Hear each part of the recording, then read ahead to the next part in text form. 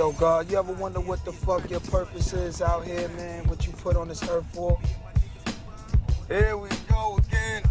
Nah, for real, man. I was a child of the 80s, growing up in the 90s. A small black child of power, you couldn't find me because I shyly would hide away from the faces that used to look me in the